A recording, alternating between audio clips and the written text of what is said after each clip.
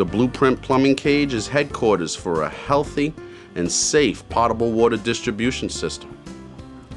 This space-saving modular mechanical marvel empowers any dwelling classification with safe water treatment and energy conservation technologies.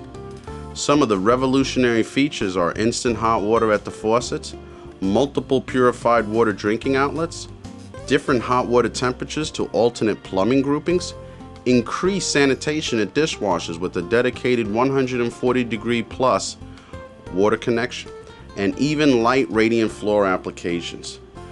From this multitasking plumbing cage, you can run copper or flexible tubing to the intended plumbing groupings. Pre-made plumbing manifolds provide sensible isolation and easy hot and cold water connections to any plumbing fixture.